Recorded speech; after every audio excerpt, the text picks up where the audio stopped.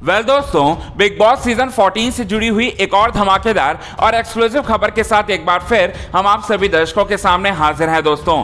Big Boss season 14 की contestant Rubina Dilaik को fans जो है एक ही सलाह दे रहे हैं कि बिग बॉस सीज़न 14 के घर पर ना ही वो किसी पर विश्वास करे और साथ ही साथ अपना जो खेल है वो व्यक्तिगत रूप से अपना खेल जो है वो खुद लड़ सकती हैं और वो खुद ही लड़ना चाहिए। फैंस का ऐसा कहना है। और साथ ही साथ बिग बॉस सीज़न 14 के घर में रूबीना दिलाय के साथ कौन है? कौन नहीं है, ये बात दर्शकों को अच्छी तरह से समझ में आ जा रहा है। जहाँ पर बीते वीकेंड के वार में काम्या पंजाबी पैनल के रूप में आई और साथ ही साथ रूबीना दिलायक की तारीफ़ करते हुए नज़र आई। इसके बाद आप सभी दर्शक ऐसा सोचने लगे थे कि रूबीना दिलायक और काम्या पंजाबी एक दूसरे के साथ काम कर रहे हैं इससे पहले और साथ ही साथ एक दूसरे के अच्छे दोस्त होंगे। लेकिन काम्या पंजाबी तो दोस्त के नाम पर पूरी तरह से दुश्मन निकली दोस्तों। जी हाँ दोस्तों, अब वो कैसे? आइए हम आपको बताते हैं। दरअसल में बीते एपिसोड में काम्या पंजाबी ने एक ट्वीट किया और ट्वीट जो है काफ़ी बवाल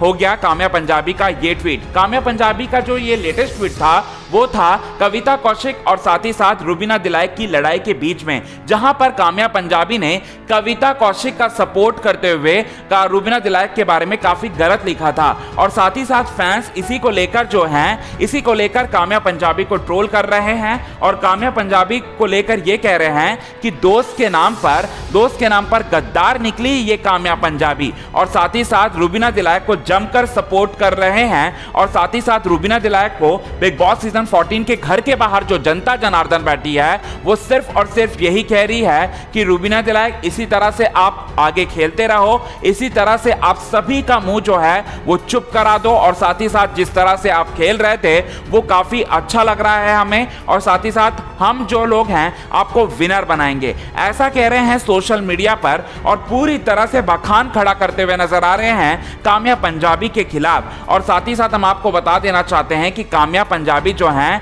अब भी लगातार ट्वीट कर रही है रूबीना दिलायक के अगेंस्ट में और साथ ही साथ कविता कौशिक को जमकर सपोर्ट कर रही है। लेकिन काम्या पंजाबी शायद एक चीज़ भूल गई है कि काम्या पंजाबी जब बिग बॉस के वीकेंड के वार में आई थी, तब उन्होंने दोस्त कहा था रूबीना दिलायक को। और साथ ही साथ एक ही हफ़्ता के बाद उनका जो स्टेटमेंट है, रूबीना दिलायक के अगेंस्ट हो गया, ये बात जो है वो पच नहीं रहा है रूबीना दिलायक के फैंस को। वेल दोस्तों, इस पर आप क्या कहना चाहते हैं? प्लीज़ हमें अपने कमेंट के थ्रू ज़रूर बताएँ। तब तक ले बने रहे हमारे यूट्यूब चैनल के साथ क्विक टीवी न्यूज़ की रिपोर्ट